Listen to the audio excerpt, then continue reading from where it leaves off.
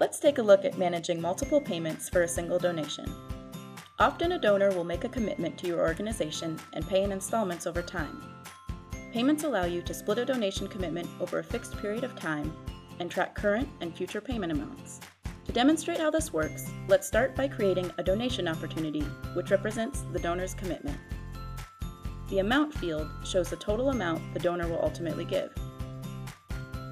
We'll set the stage to pledge and the close date to the date of the final payment, as that date will appear as the last gift date on the contact when the final payment has been paid. Or, if you prefer, you can select the date that this gift was committed by the donor, even though you haven't received all of the funds yet.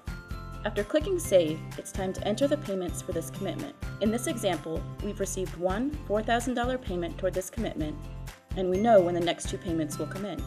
Let's log the paid installment and the scheduled payments by clicking the drop down arrow in the Payments box on the right and selecting Schedule Payments. Next, for the number of payments, select 3.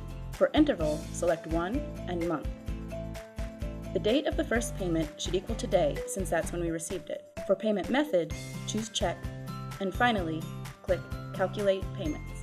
Since you received the first payment today, enter the payment date for the first payment and check the Paid checkbox. Click Create Payments, and you're done.